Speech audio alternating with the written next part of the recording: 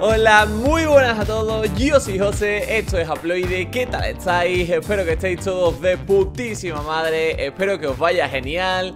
Como veis yo estoy nuevamente en Estambul. Y bueno, espero que llevéis bien la cuarentena y la pandemia, porque sé que ahora mismo en Sudamérica pues está pegando bastante fuerte y en España pues la cosa está un poquito más calmadita, pero bueno. Como bien sabéis hoy es domingo, domingo de top y estoy aquí para traeros los 7 mejores juegos gratuitos Tanto para Android como para iOS. Y bueno cracks, vamos al lío y empezamos ya no sin antes decir las palabritas mágicas que como muy bien sabéis quizás estos juegos no sean ni los más buenos ni los más bonitos pero sí que son los más baratos porque son gratuitos Recordaros también que podéis seguirme en mi cuenta de Instagram donde además hoy os he dejado un jueguecito extra. Y bueno, dicho esto, nos vamos ya al puesto número 7 con un juego donde nos vamos a poner en la piel de, por así decirlo, Amazon o de una empresa como Correos en España o yo que sé, o cualquier otra empresa de correos, no sé en Sudamérica cuál es la empresa que predomina, no sé si Segur, puede ser, la verdad que ni idea.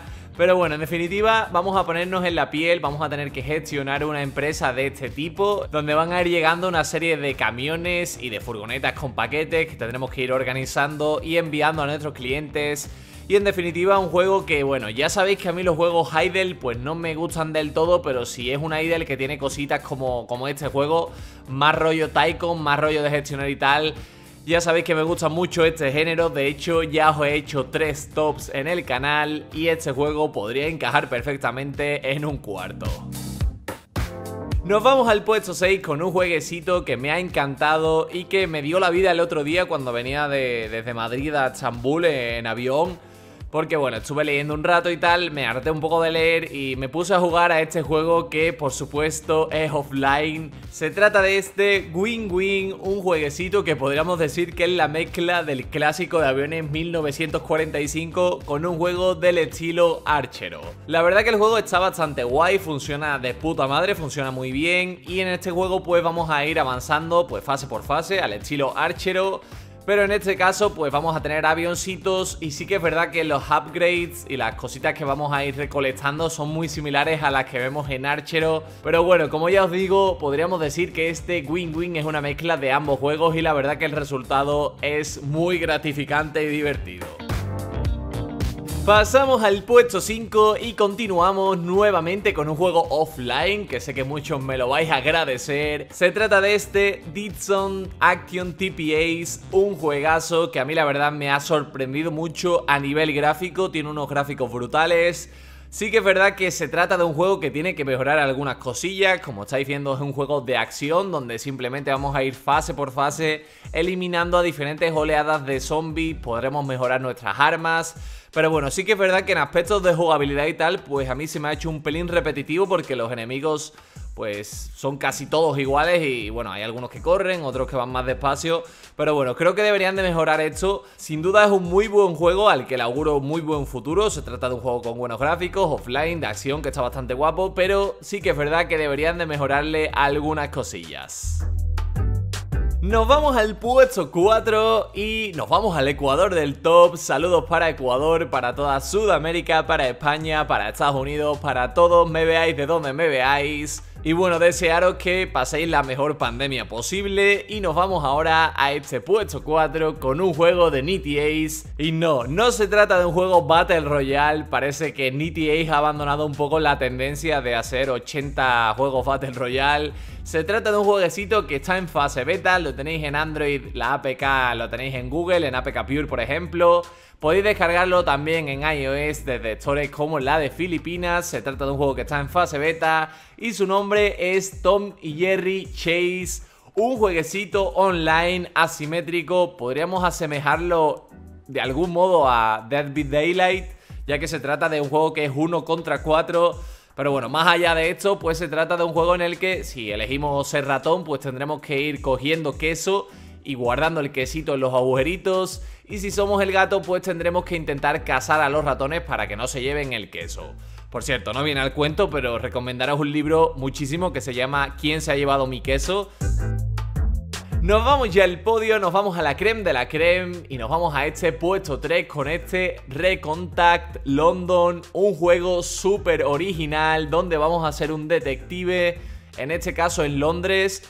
Eh, decir que también tienen Recontact Estambul y de hecho yo ahora mismo estoy en Estambul y los desarrolladores son de aquí, son de Estambul. Y bueno, vamos a lo que es el juego, que en este caso se desarrolla en Londres, donde vamos a ser un detective, podríamos decirlo, de delitos digitales y tendremos que ir investigando en una serie de cámaras, en este caso una especie de fantasma que hay por Londres. La verdad que el juego, eh, no quiero spoilearos nada, está bastante guapo. Vas a ir detectando por las calles de Londres pues a, a este hombre que va vestido como de los años 20 o algo así. Y bueno, tendremos que ir investigando y nada, el juego la verdad que me ha parecido súper original, tenéis imágenes reales de cámaras de Londres y no sé, descubrirlo por vosotros mismos porque personalmente a mí me ha encantado este Recontact London y si te gusta ya sabes que puedes probar también el Recontact Estambul. Nos vamos al puesto número 2 y ojito que aquí se va a quedar un juego de Dungeons que a mí me ha encantado se trata de este Otherworld Legends, un juegazo. Eh, en este caso se trata de un juego que está muy cuidado tanto a nivel gráfico, tenemos así gráficos pixelados, pero la verdad es que se disfrutan bastante. Es el típico juego de Dungeons donde vamos a tener jefes finales, la verdad es que es bastante difícil. Como dato sí que es verdad decir que si queremos desbloquear a otros personajes pues tendremos que pasar por caja, esto me ha parecido muy positivo, pero bueno, en definitiva el juego está muy guapo, decir que es de los creadores de Soul Knight.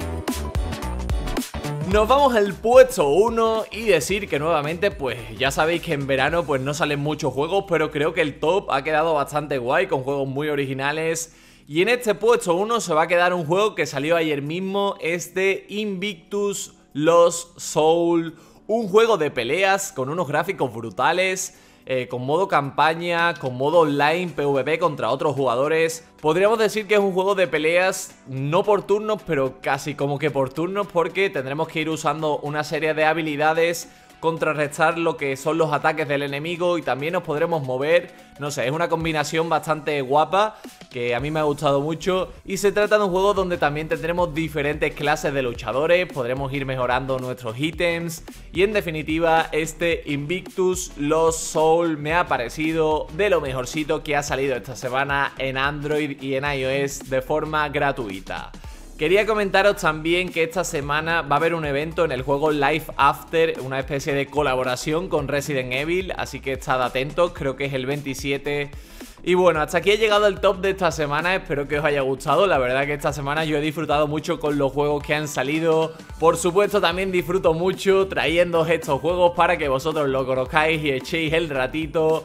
Y bueno, yo me voy a despedir, muchísimas gracias a todos por haberme acompañado en un nuevo vídeo, una nueva semana un saludito y nos vemos como siempre donde, pues claro que sí, aquí en Aploide. Hasta otra amigos, que seáis muy muy felices y que os vaya a todos de putísima madre.